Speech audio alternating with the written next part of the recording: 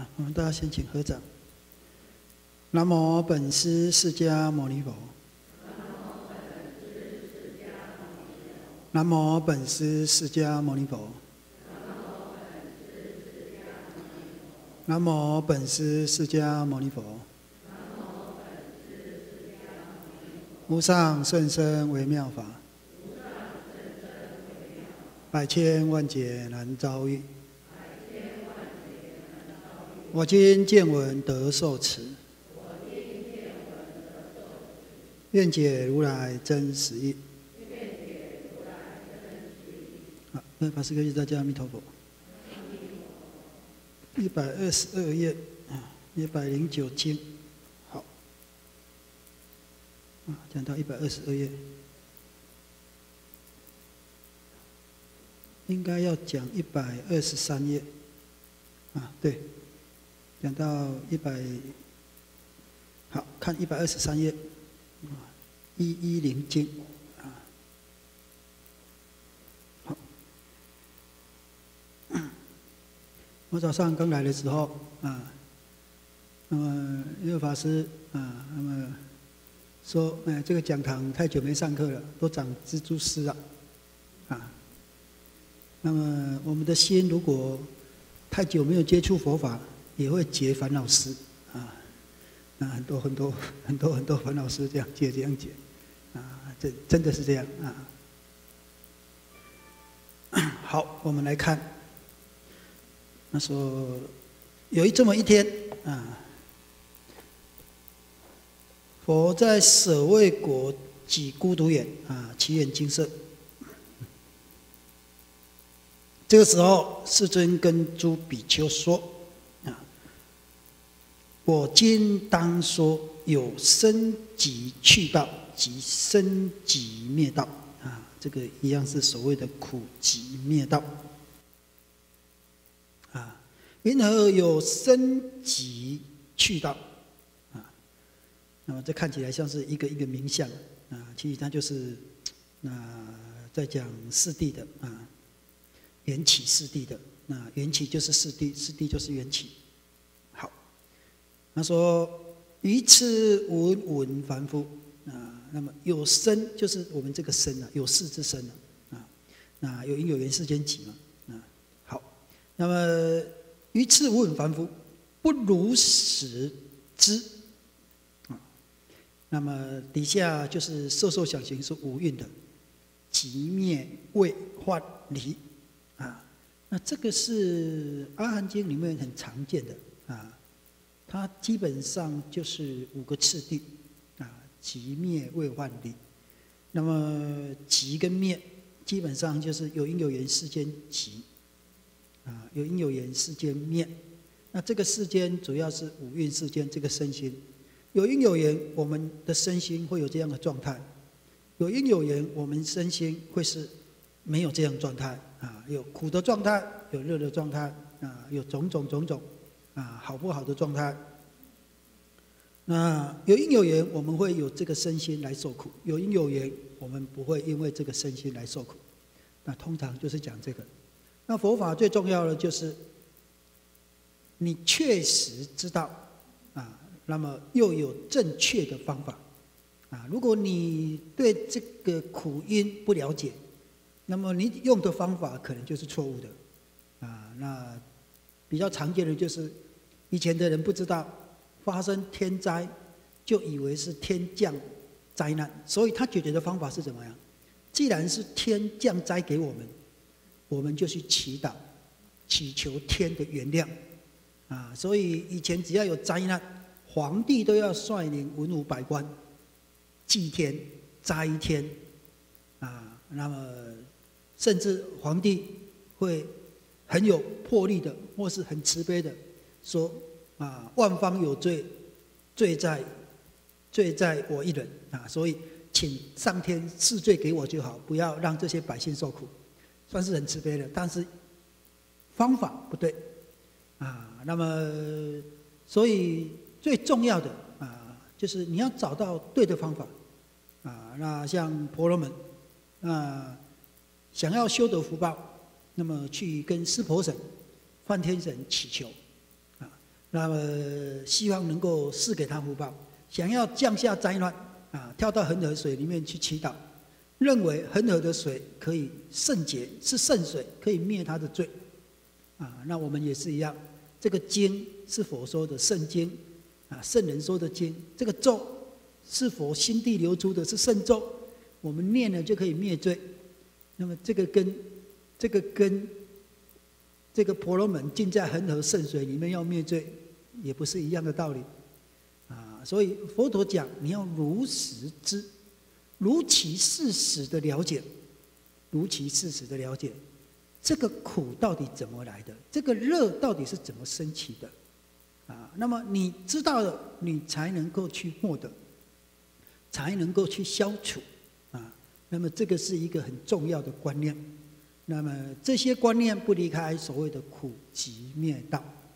那我们通我们通常知道苦，但不知道苦因，知道要解决苦，不知道什么是正确的方法，是这样，所以才会形成一种一直在一直在修行要离苦，可是却一直不能离苦，一直在受苦。为什么？苦苦的方法错误，你对苦的理解。形成苦的原因的理解有误，重点在这里。那这个是很重要的。这多数的人都，很多学佛的人，很多都把时间精力耗费在没有意义、没有利益的事情上面，啊，那么以至于以至于会发生一种现象，啊，就是你一直在修行。照理讲，你加你如果你一直加热，那个水会蒸发越来越少，啊！可是你一直起火，拿很多木材来生火，火起得很大，可是那个水并没有变少，反而变多了，啊！你以为有智慧的、很精进的，加大火力，那么来烧掉这个灾难的水，但其实发现到，我的烦恼没有减少，我的痛苦没有减轻。为什么？那你会觉得那是我不够用功，那是我业障太重，那所以又用错误的方法，精进的想要消除业障，结果也是一样，啊，那你最后只能够哀怨，啊埋怨，我身在末法，没有办法，啊，就就只能这样，啊，真的是这样吗？肯定不是。所以，其实苦集灭道的道理，我们大家耳熟能详，但实际上，多数人，多数人懵懵懂懂，啊，就不知道那到底是怎么样。我也知道苦啊，但是苦因就是我有业障啊，啊，你是有业障，但真正障碍住你的是你的愚痴，你执着错误方法的愚痴。你不是不学佛，你不是不信佛，你就是不知道什么是佛，就就是这样啊，啊，那么这个是，我我讲话不是在骂人哈，我只是讲起来有一点点啊啊，就是有一点点感叹而已啊。那么基本上很多数的佛教徒都是都是这样在过生活的，很可怜，所以佛陀会讲可怜悯者。真的，如果不学佛的人，他他当然他没有这个，他来他在门外，啊，这就没办法。你已经四处在找门，而且但是都是不得其门而入。那些不找的那些不找的人，那那没办法了。可是你找了那么久，那么用心的找，一心一意的在找，你却因为你的执着。你的愚痴而经常不得而门而入，啊，不得其门而入了啊！那你常常修的啊，观音法门、地藏法门、净土法门，什么门？这一切你都不得其门而入，你只知道有这个门，但是你没有真正进过这个门，啊，这个是，这是我我学习佛法发现到最多的问题，修观音法门的人。通常不知道什么是真正的观音法门，修净土法门的人不知道什么是真正的净土法门，修药师法门的人不知道什么是真正的药师法门，啊，修菩萨道的人不知道什么是真正的菩萨法门。啊，通常都不知道，但是他很用功，他很虔诚，他很专注，单单用功虔诚专注，不能就让你得利益。外道也很用功，也很虔诚，也很专注。我们都没有苦行外道那一种忍耐力、精进力，啊，那么非常的相信啊，他只要这样做，死了就能得解脱，啊啊，那可是他一生在受苦，他无怨无悔，无怨无悔有用吗？没有用啊，没有用啊，没有用。啊就算你无怨无悔，就算你百分之百的相信，只因为你愚痴，啊，不知道苦集灭道的道理，啊，那么不会反省，那么你就不会觉醒，啊，这种道理就是很多佛教徒我发现到都第一个很善良，啊，善良，但是善良也不是解脱的根本啊。很用功精进，精进也不是解脱的根本啊。很虔诚，虔诚也不是解脱的根本，不是离苦的根本。什么是离苦的根本？智慧，智慧才是离苦的根本啊。所以佛陀讲，一切痛苦都从什么生？从愚痴生。一切的痛苦都是从无名的心、愚痴的心生起来的。一切的功德都是从智慧的心生起来的，所以三善根是什么？三善根是什么？什么是三善根？忘记了？对，无贪、无嗔、无痴。什么叫无贪、无嗔、无痴？智慧的心，无贪、无嗔、无痴。啊，那是一切善、一切一切善、一切佛法功德的根源。智慧，般若，那么这个你如果不知道，那什么是般若？当然就是你知道苦，知道苦因，啊，知道离苦的方法，这样，那么这个三个确定了，你一直坚持的修，就一定可以得解脱，一定可以离苦，而且这个离苦不是你死了才知道，不是你未来才知道，你当下就会知道。当你有智慧，你原来的烦恼减轻的时候，那个苦就会减轻；你的执着减少的时候，那个烦恼就会减少。很简单的道理啊！啊，本来你本来你执着，假设了啊，你执着你的儿子、女儿、媳妇啊、先生，你执着，假设你有执着十个人，现在你只你只执着两个人，那烦恼有没有减轻？有啊。你就觉得没比较没那么累了，很简单嘛。你本来在五个人身上起烦恼，现在只在一个人身上起烦恼，那个痛苦有没有减少？有啊，当下就知道了嘛。啊，那么这个就是有智慧生。那你不是一样多的痛苦，甚至为了要离苦，承受更多的痛苦啊？有没有？为了要离苦，承受更多的痛苦，也只能忍耐。含着泪忍耐，咬着牙忍耐，佛法不是这样子的啦。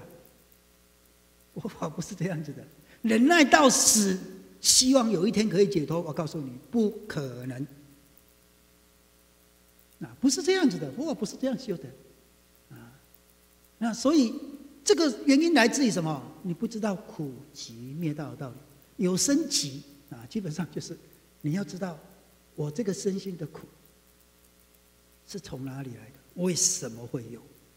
怎么样可以没有？啊，会不断要反复不断的告诉自己，常常要努力思维，啊，就这样想，这样想，这样想。佛法最大的作用，不是在增加你佛法的知识，而是在启发你的智慧。良人，这这这个儒家叫做启发良知，良人。啊，那么良知就重在智慧，良人就重在慈悲，就启发你的慈悲跟智慧。如果你没有办法启发你的慈悲跟智慧，越修不是越无私，越修越自私。我告诉你，你是不可能有解脱的时间，希望有啊！你就越修，一切的烦恼都从我见我爱中来嘛，是不是？我见我爱表现出来的就是自私、自利啊，其实就是这样而已啊！你再怎么关怎么关呢？我告诉你，你没有办法得无我。没有办法得无我，没有办法去我见我爱，你只会越来越重，啊，你只会越来越重，那么你只会越来越苦，啊，只是这样而已，啊，这个就是根源，啊，根源，解脱的根源，关键是什么？无我，对啊。痛苦的根源，轮回的根源是什么？关根源是什么？我见我爱，就我，就我见了，你看，不是就是这样吗？啊那表现出来就是贪嗔痴嘛，我喜欢的叫做贪嘛，我不喜欢的叫做嗔嘛，啊，我完全不明白的就是吃嘛，不了解嘛，不了解有贪，不了解有嗔，不了解怎么去贪，不了解怎么去吃，啊，基本上是这样，啊，好，那我们再往底下看啊，所以他这里讲啊，愚痴无闻凡夫，都是跟多闻圣弟子合在一起的啊。我们刚开始是愚痴无闻的凡夫，但是学佛之后要渐渐转成多闻熏习的佛弟子，然后要慢慢慢慢变成智慧多闻的圣弟子。对，要这样啊！不要学佛一年也是这样，学佛十年也是这样啊！那就苦没有减少，烦恼没有减少，执着没有减少。啊而且还增加，啊，越来越执着，越来越烦恼，越来越苦，啊，那么刚开始觉得自己最小，自己最没用，自己资历最低，啊，所以一切都没那么苦。等到大了，啊，越渐渐学了，啊，自己最高，啊，自己最好，自己最多，就烦恼越来越重。没有修行还不是那么烦恼，啊，一修行就觉得自己修那么久。啊，那么那么有修行，就开始很多烦恼了，烦恼越来越重。那这样，这样是颠倒修，啊，这样是颠倒修。没有学佛，还没那么多烦恼；一学佛，看见大家都都是这样，就更烦恼了。啊，没有学佛，想象中修行的人都很清净；一学佛，往里面一看，大家都很不清净，搞得自己也很难过，都很痛苦。那么这个是错误的观念，啊啊，所以那个基本上就是从我见我爱来。的，啊，那么这个我们很现实的问题，佛法都是在解决现实的苦，不是在解决想象中的苦，也不是在解决未来的苦，啊，也不是要消除过消除过去的苦，不是，就是要解决现实的苦，一直延续不断的现在的苦。那这些苦从哪里来？当然，你过去累积来的；未来的苦从哪里来？当然从现在一直延伸过去的。所以你要解决现在，让自己的身心状态啊，那么尽量趋于离苦，叫做向善向上，向什么解脱？其实就是这样啊。那这个是很重要的，要时常提醒自己，有那个趋向。今天你起了一个烦恼了，很简单嘛，不管你起什么烦恼，让你不安，让你忧虑，让你恐怖，不管是恐怖未来还是恐怖谁啊，害怕谁，害怕未来，你就想，我这样有向上吗？我这样有向善吗？向上吗？提升吗？我以前是这样，我现在还是这样，那我有比以前好吗？而我这件事情的本身这样想是对的吗？是好的吗？有没有向善啊，写一下。这个大家都比我熟了哈，但是还是写一下。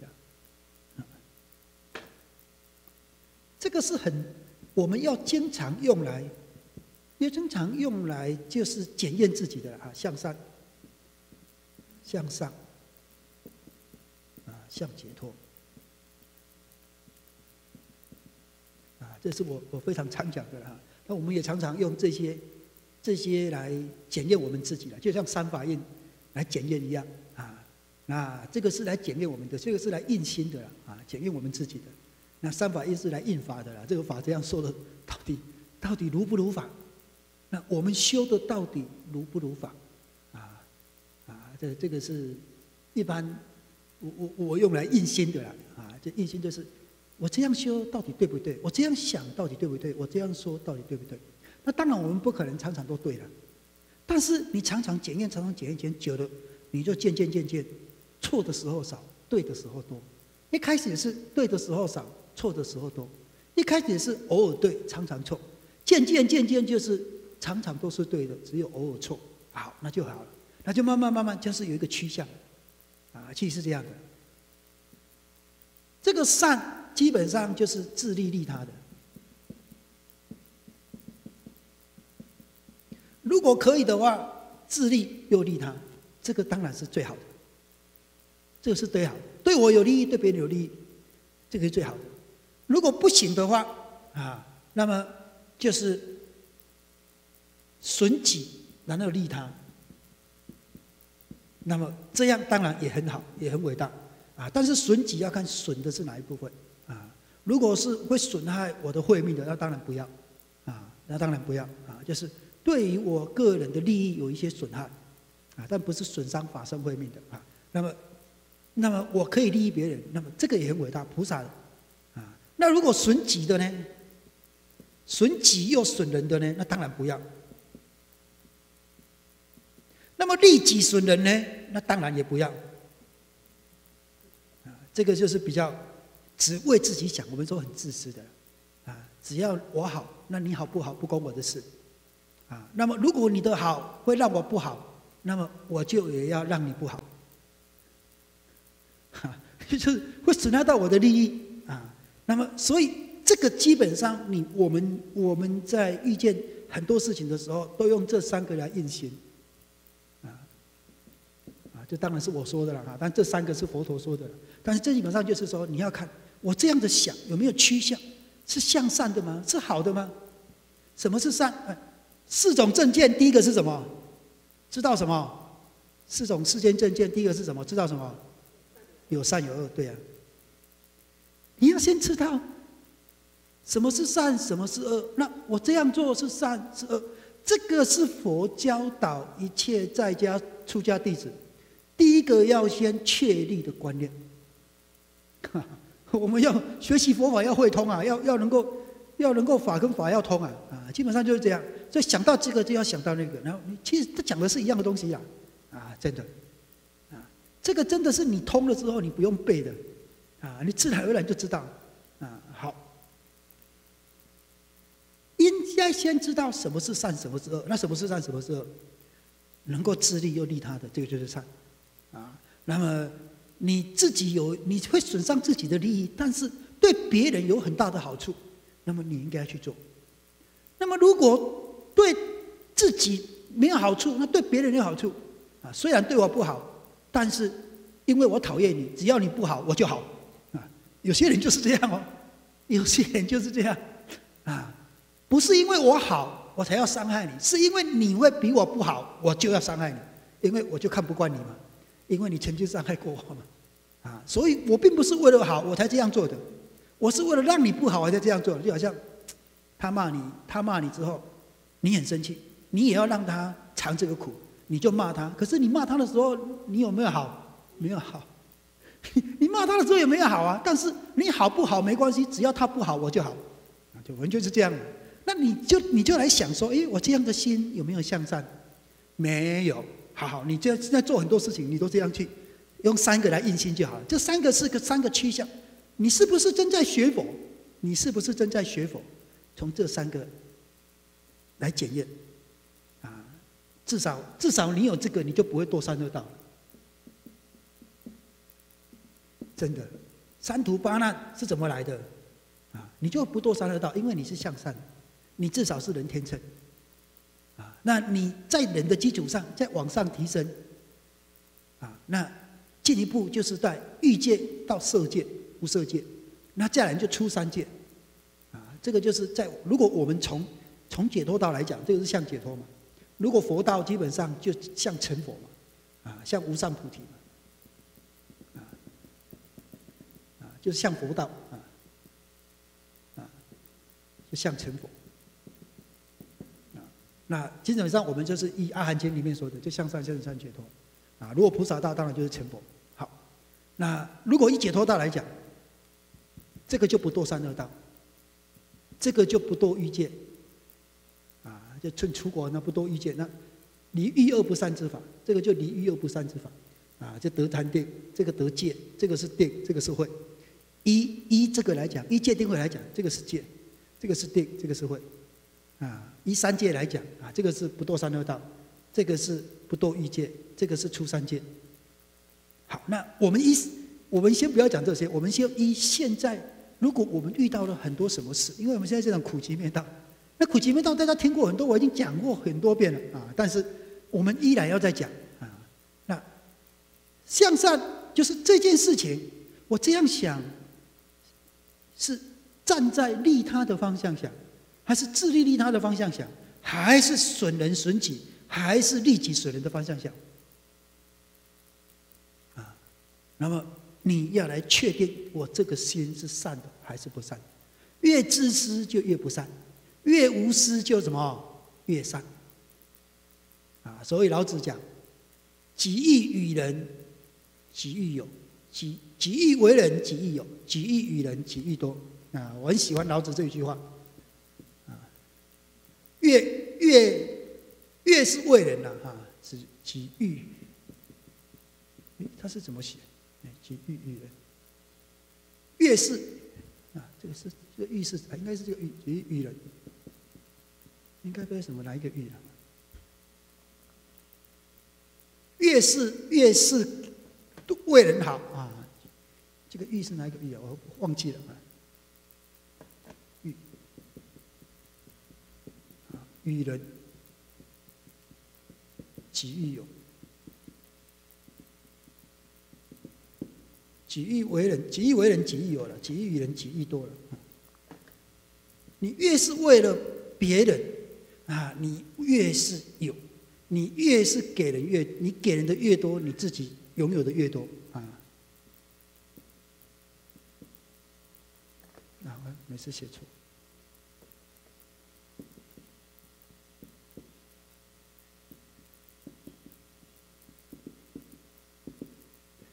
那基本上这个是因果相合的。你越是无私，你越拥有越多；你越是自私，你拥有的越少。你越是无私，你得到的利益越多。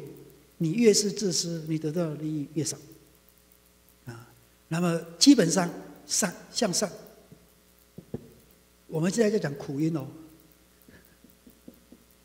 你不要小看这些哦，这些都是因为你的苦是从日常生活中的身口意一点一滴、一点一滴你聚集起来的，是从平常日常生活中里面的身口意业。一件一件、一件一件堆积起来的，你的苦是这么产生的啊？那你如果不从平常的、平常的这些身口意业、这些起心动念里面去找苦因，你要去从哪里找？舍利佛跟跟这些比丘说，说佛佛说的法就是调伏贪嗔痴，从哪里调伏贪嗔痴？从哪里？从对从五蕴身心上去调伏贪嗔痴，不要你要从哪里去调伏？你要去从别人的身上去调伏贪嗔痴哦，贪嗔痴又不是别人那边生起来的，苦因在哪里？苦因在自己的身口意上。那什么时候有身口意？对，一切时中，面对一切人，在一切境中，一切境界中，由身口意造什么贪嗔痴业？你不从这边，你不从这边去调整，你要从哪里去调整？啊，平常平常遇见这件事那件事，起贪起嗔起痴都不知道，坐下来就要无贪无嗔无痴。当然啦，你坐下来不念，当然无贪无嗔无痴啊。可是你过去累积的贪嗔痴会不会消失？不会，会不会产生作用？会，很现实的东西啊。那如果你没有啊，平常平常。平常就自私力，该贪的不会少，该嗔的不会不会少，啊，然后一直在愚痴当中，然后坐下来就要观五蕴无我，无常无我，然后就贪嗔痴没有了。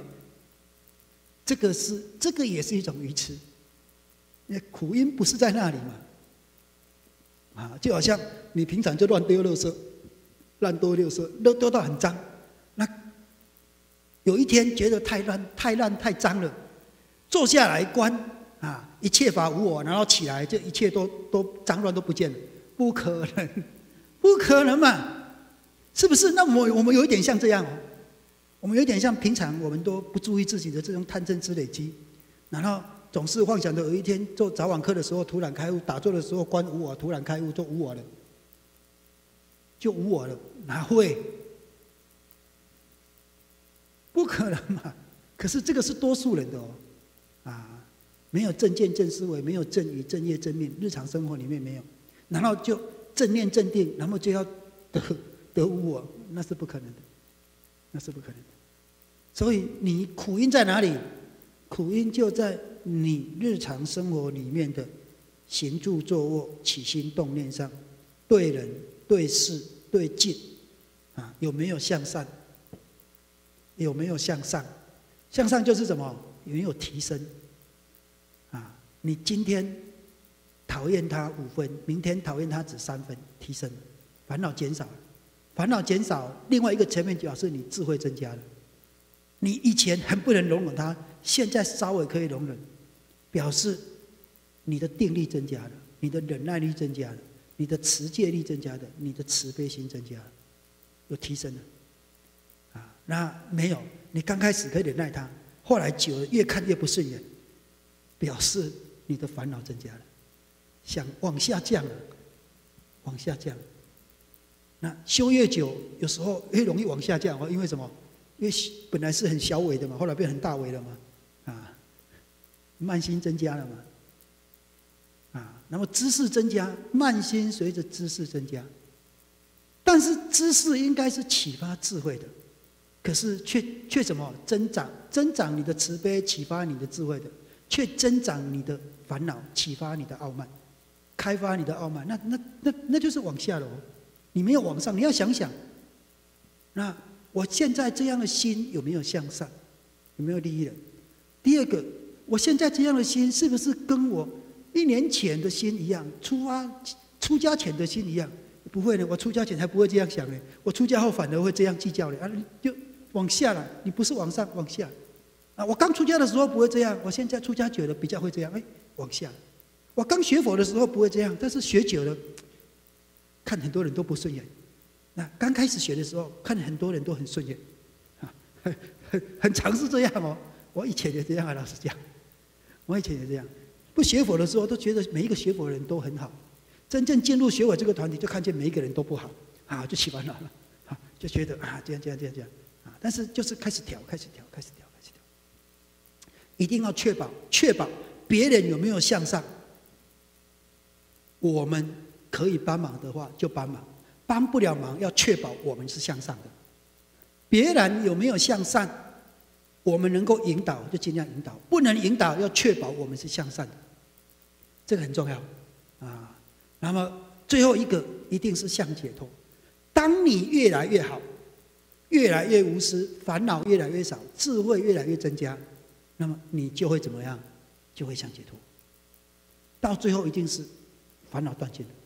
到最后一定是智慧圆满的，啊，那么这个时候，这个时候一大圣的说法，啊，就是在这个开始就要发菩提心，然后在这中间菩提心不能断，要持续，到最后的时候，这个菩提心会被启发，就是大悲心会会起来，啊，你不会就入涅槃，或不会就解脱了，你你会要以利益众生为主，一大圣的修法是这样，就是你这个菩提心要发在上面，然后向上向上向解脱。但要解脱的时候，你没有就近解脱，你要怎么样？或是你解脱了之后，还有两种，就是你解脱了之后，你来利益众生，啊，或者在这中间菩提心就要不断，要持续。那么这个之后，从相解脱之后，就是这里就是啊，向成佛，向佛道啊，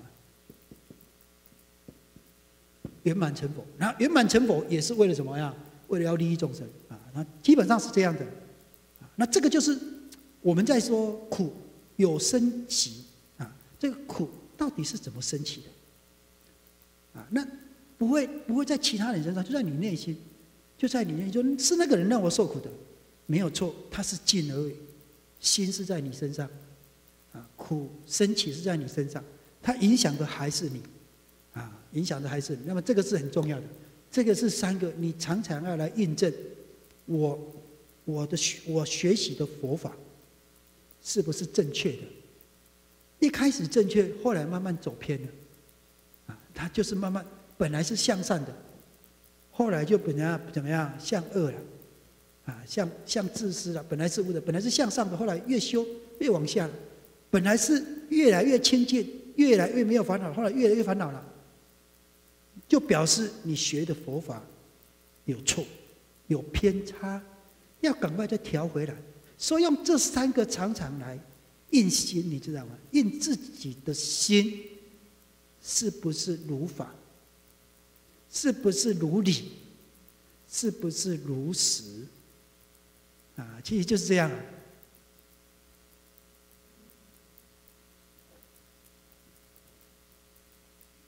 好，所以他这里我们来看啊，他说不如实，如其事实啊啊。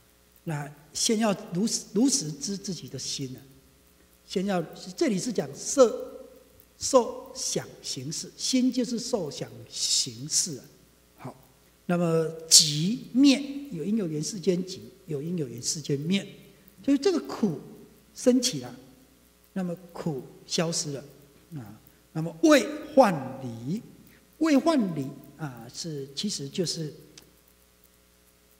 修行的三个次第了，为就表示你在你痛苦的原因，啊，因为有生集，就是有生就是苦嘛，啊，那苦苦为什么会形成？我为什么会这样苦？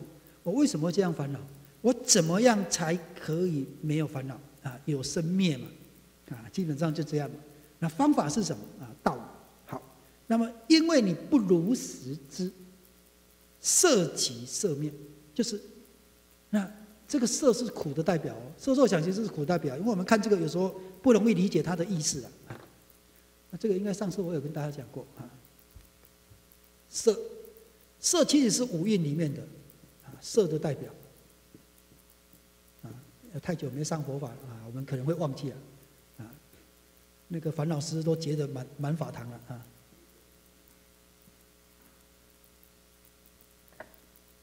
色五蕴，色受想行识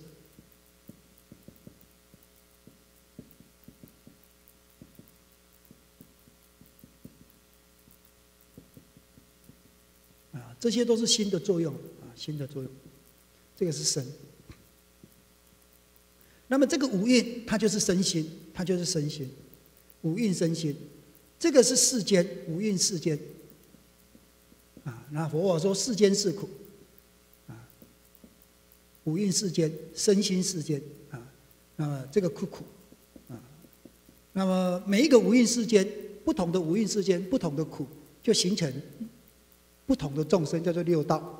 这个叫有情世间啊，那基本上是这样。那有情世间的一个一八，就是国土世间啊。那世间是苦，所以这个就是有生啊，有事之生，有生。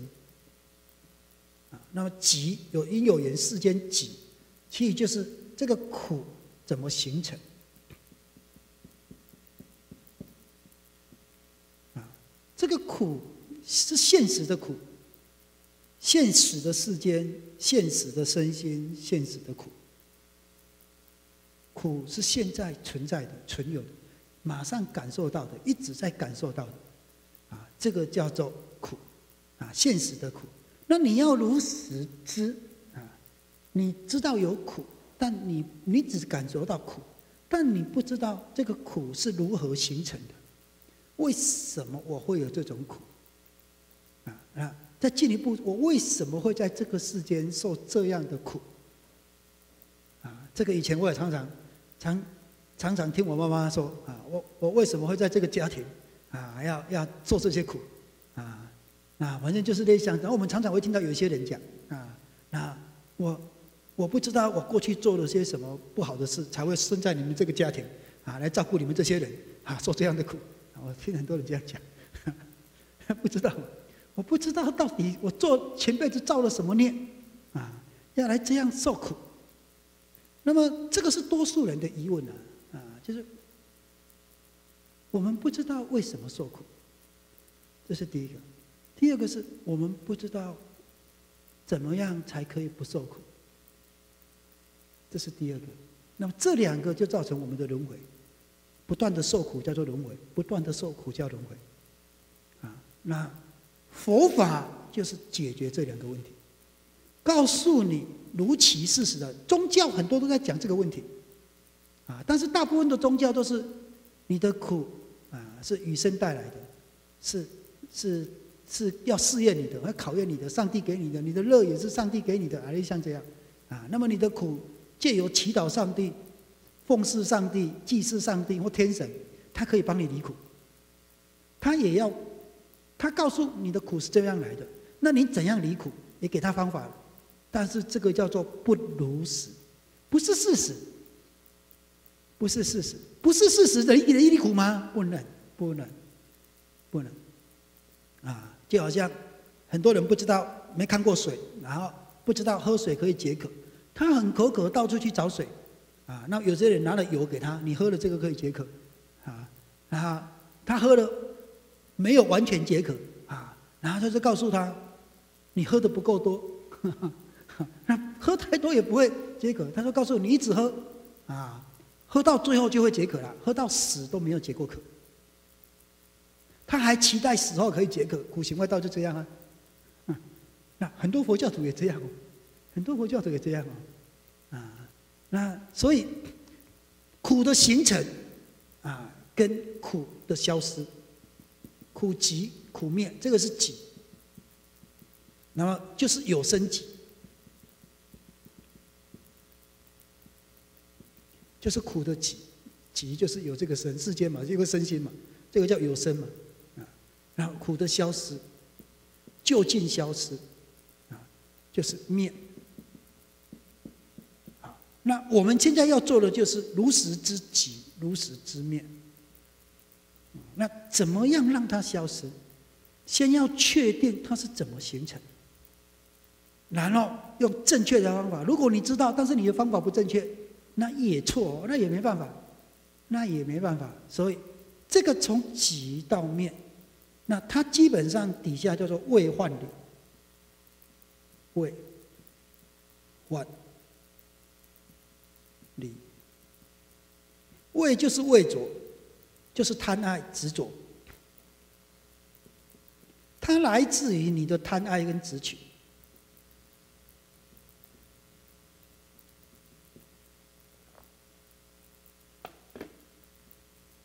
那根本上来讲，就是对什么的贪爱跟执取，对什么的贪爱跟执取，对我我所的贪爱跟执取，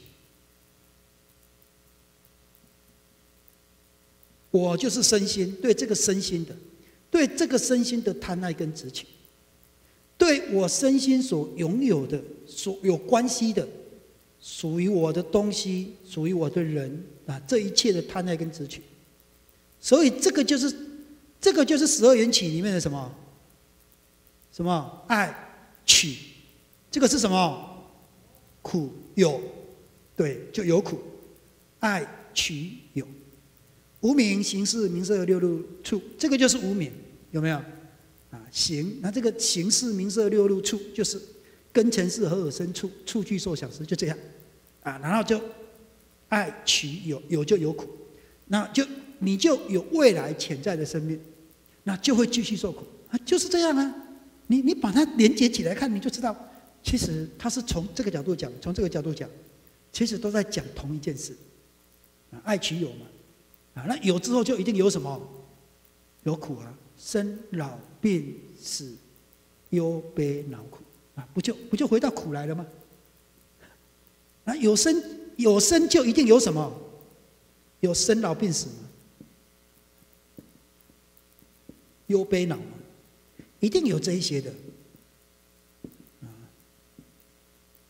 那都都从哪里来啊？所以他要告诉你这个胃，患如实知这个因，你就是因为贪爱执取这个身心，所以离苦要从无因身心，然后要怎么样？知其过患而能远离，知其过患，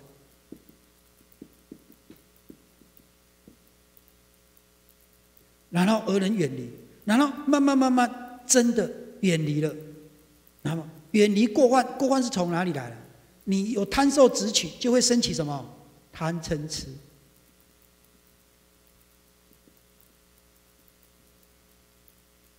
所以先告诉你如实知，你要先如实知有升级。那么如实知有升级，就要如实知什么？有贪要知什么？有贪，有嗔要知有嗔。你要先观察这个，你这个不如实知，这个就是因啊，那个就是苦因啊。啊，你知道有过患，你要远离；知道过患在哪里，就是知道苦嘛。知道苦，苦患过患，知道苦，知道苦因在哪里，知道过患，知道过患在哪里。你接下来要做的就是，我要远离这个过患，我要远离这个苦，然后就用正确的方法离苦，到就近离离苦，解脱，就这样。所以叫做极灭。为患离，那么重点在如实知啊，所以他这里的经文叫做如实很重要。如实，你要如实，要先如理。你不如理，你就没有办法如实知。你要如理思维，你才有办法如实知。那你如实理思维，前面一定要多闻熏，多闻正法，熏习正法，闻思正法，一定要闻思正法。多闻正法的前面，我们叫做亲近善事，就是佛陀是最大的善知识，啊，其实这个就是思欲流之嘛。你看，连来连去都一样的东西啊，其实它就是这样，啊，所以你要先如实知，即跟灭。然后知道如实之谓患离，从哪里知？从身心上知。色身心是什么？色、受、想、行、识。那么他会把它分别在色即、色灭、色位、色幻、色离。受即受灭，其实我们合起来看比较容易看。他就在讲身心状态。你把它分开了，有时候你会。会，会会有一点点，啊，好像，好像你没有办法，会比较笼统一点，你没办法理真实去理解。他其实就在讲你的身心状态，啊，色即灭幻离，那他是一个一个看这个身体，啊，那个心受想行识，讲细一点就更多了啊，六路处相应里面它就更多了，它就眼如实之眼，耳鼻舌身意。色声香味触法，啊，如实之眼及眼面眼味，他们啊就就更多了。其实他是讲同样的东西，就是我们这个身心的苦，我们平常受的苦，不是由身体就是由心产生的嘛？苦只有两种，叫做身苦跟心苦。啊，身体的苦啊，生病，啊，这个病那个病，这个痛那个痛，啊，那虽然身体没有生病。因为这件事，因为那个事，因为这个人，因为这个人，那个人心里面在那边受苦，啊，因为空虚，因为寂寞，因为孤独，啊，因为不安，因为恐惧未来，啊，反正这种种，身体是很好啊，但是辛苦啊，啊，怎么这么快哈？啊，那么这个是，这个就是生苦跟辛苦，那这些苦都从哪里来？要去想，那想的对不对？从。要从三个去印证，我这样想对不对？想了之后会去做，要去看看实际上这个里面有得利益，我这样做对不对？要向善，向什么？向上，向解脱。常常用这三个来来观察我学的是不是佛法，有没有如实，有没有如理，有没有如法。好，先下课。